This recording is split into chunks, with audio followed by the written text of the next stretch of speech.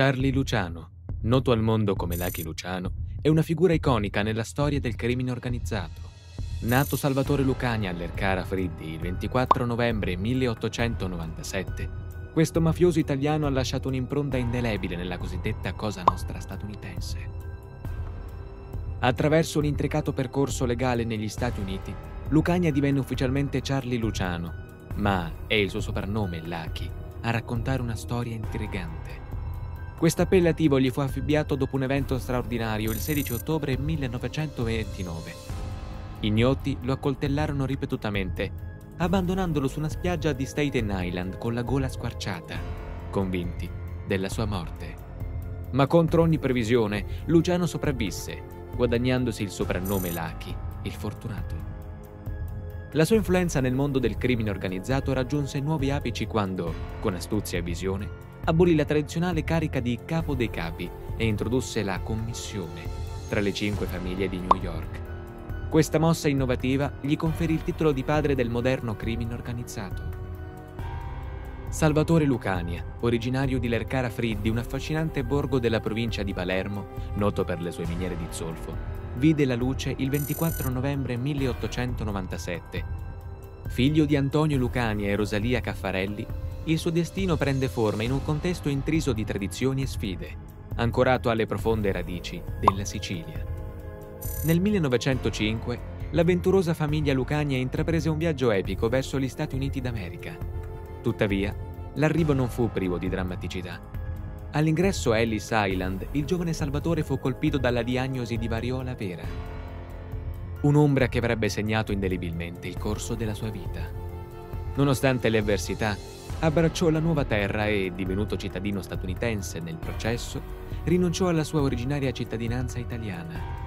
Negli anni successivi al loro arrivo a New York, i Lucania trovarono rifugio nel Lower East Side, in prossimità del quartiere ebraico. In questo contesto, la vita dei Lucania divenne un'avventura piena di sfide, svolta sulle strade della Grande Mela. È qui che Salvatore, noto come Charlie, stabilì un legame fondamentale con il giovane Meyer Lansky, dando inizio a un'amicizia destinata a plasmare il futuro di entrambi. Insieme costituirono una banda specializzata nel bullismo tra compagni di classe e nell'estorsione di un penny quotidiano, considerato una forma di protezione. L'infanzia di Charlie Luciano fu segnata da incidenti. Nel 1907, a soli dieci anni, fu condannato a quattro mesi di riformatorio per furto. La sua vicenda con la legge continuò fino all'età di 18 anni, quando affrontò una pena di sei mesi per possesso illegale di eroina e morfina, esplorando così entrambi i lati del mondo degli stupefacenti. Unendosi alla temuta Five Points Gang sotto la guida di Johnny Torrio, Luciano ebbe l'opportunità di incontrare figure di spicco come Frank Costello e Al Capone, stabilendo legami destinati a lasciare un segno indelebile nella storia criminale. Durante questo periodo, Charlie Luciano decise di abbandonare il nome Salvatore, ritenuto troppo femminile, per adottare l'identità americanizzata di Charlie Luciano. Il periodo del proibizionismo negli anni venti segnò una svolta nella vita di Luciano. Nel 1920 si unì ad Arnold Rothstein, un gangster ebreo, formando un potente team con Meyer Lansky, Frank Costello, Bugsy Siegel, Dad Schultz e Jets Legs Diamond. Sfruttando l'illegalità del commercio alcolico, il gruppo di Luciano rifornì gli speakeasies di Manhattan, introducendo clandestinamente liquori provenienti dal porto di New York. Il decennio successivo vide Luciano emergere come una figura centrale nell'organizzazione criminale, gestendo non solo il traffico di alcolici, ma anche il mondo della prostituzione e del gioco d'azzardo. Il soprannome infame tra le ragazze avviate alla prostituzione testimoniano il suo dominio in queste sfere. La sua storia ebbe un capitolo cruento nel 1922, quando come killer partecipò all'assassinio di Umberto Valenti, acerrimo nemico di Joe Masseria. La sua ascesa continuò, guidato dalla sua abilità strategica e dalla rete di contatti eccezionali. Il culmine di questo periodo fu l'incontro del 1929 ad Atlantic City, dove Luciano contribuì a plasmare le strategie comuni per la divisione del contrabbando di alcolici e a gettare le basi per il sindacato nazionale del crimine. Tuttavia, la sua fortuna ebbe una battuta d'arresto nel terribile evento del 16 ottobre 1929, quando venne accoltellato e lasciato per morto su una spiaggia di Staten Island.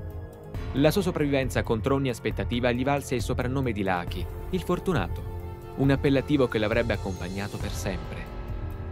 La vita di Charlie Luciano è un intreccio avvincente di astuzia, violenza e stratagemmi, una saga che lo ha portato a essere riconosciuto come uno dei protagonisti principali del mondo criminale del XX secolo. Nel turbolento scenario della guerra castellammarese del 1930-31, combattuta tra Gio Masseria e Salvatore Maranzano, la figura di Lucky Luciano, abile capo della Cosa Nostra statunitense, si intrecciò inevitabilmente con gli eventi. La lotta interna minacciava gli affari criminali, spingendo Luciano a manovrare con destrezza per salvaguardare il suo impero. Il momento cruciale si consumò il 15 aprile 1931 al ristorante Scarpatos di Coney Island, quando Luciano orchestrò l'assassinio di Masseria insieme a un gruppo letale, tra cui Bugsy Siegel, Vito Genovese, Joe Adonis e Albert Anastasia. Questo atto frantumò il vertice del potere criminale, aprendo la strada a nuove dinamiche e consolidando il dominio di Luciano. Dopo la morte di Masseria, Luciano stabilì una tregua strategica con Maranzano, riconoscendolo come capo dei capi e ottenendo il controllo delle attività precedentemente gestite dal defunto Masseria. Tuttavia, questa alleanza si rivelò effimera, poiché Maranzano, percependo Luciano come una minaccia per i suoi legami con gangster non siciliani, intraprese la strada dell'eliminazione. La trama si infittì ulteriormente il 10 settembre 1931, quando Luciano e Genovese furono convocati da Maranzano a Park Avenue per poi essere attaccati da quattro killer ebrei, travestiti da agenti del fisco. In un rovesciamento di venti, i killer, assoldati segretamente da Luciano in collaborazione con il mafioso siciliano Gaetano Lucchese, pugnalarono Maranzano, architettando la sua fine. La leggenda della notte dei Vespri siciliani, un presunto sterminio di 90 mafiosi siciliani, si svela come un mito. Ma la storia registra comunque il consolidamento del potere di Luciano Dopo la morte di Maranzano, Luciano assunse il ruolo principale nella criminalità organizzata negli Stati Uniti, ma evitò deliberatamente la designazione di capo dei capi per sfuggire ad una potenziale guerra con l'ascesa di Al Capone. Al suo posto, Luciano istituì la Commissione, un organismo destinato a governare la Cosa Nostra, suddividendo le aree di competenza tra le cinque famiglie di New York, la Chicago Outfit di Capone e la famiglia di Buffalo di Stefano Magaddino. Questo nuovo ordine consentì agli altri boss di collaborare con gangster non siciliani, dando vita a quello che sarebbe stato chiamato Sindacato Nazionale del Crimine. All'interno della sua famiglia, Luciano promosse i suoi fedeli luogotenenti napoletani e calabresi, conferendo a Vito Genovese il ruolo di vicecapo e a Frank Costello il titolo di consigliere. Affiancati da Meyer Lansky e Johnny Torrio in ruoli non ufficiali ma di grande influenza, la forte indipendenza tra le famiglie di New York e la Chicago Outfit sottolineavano l'abilità di Luciano nel tessere una rete di alleanze che avrebbe dominato il sottobosco criminale degli Stati Uniti. Lucky Luciano, nel culmine del suo potere, si ritrovava nella sontuosa suite del Waldorf Astoria Hotel, sotto il nome fittizio di Charles Ross. Amante del lusso e frequentatore assiduo dei locali esclusivi, circondava se stesso di belle donne e vantava amicizie con personaggi celebri come Frank Sinatra e George Raft. La sua presenza era notevole anche nel bordello di Polly Alter, frequentato da politici, uomini d'affari, giudici e gangster.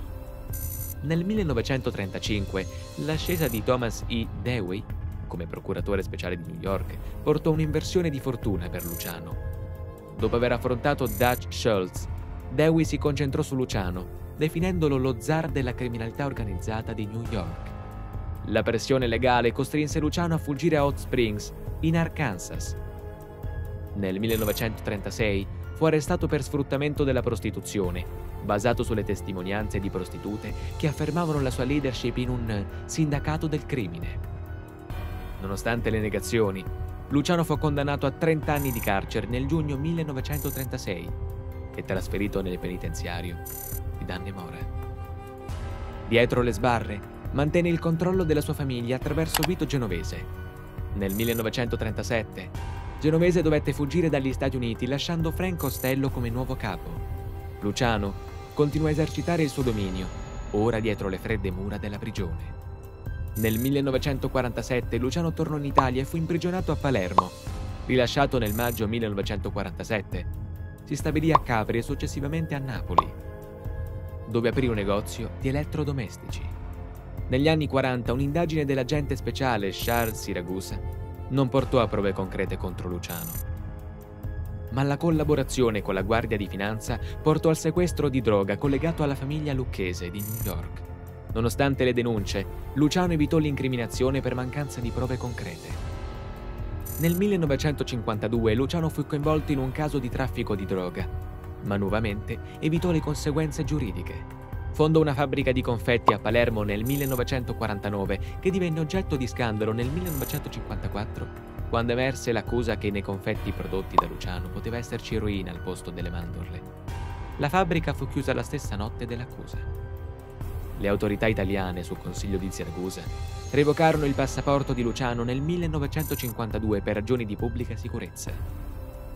Nel 1951 Luciano fu indicato nel rapporto del senatore Estes Kefauver come capo internazionale della mafia.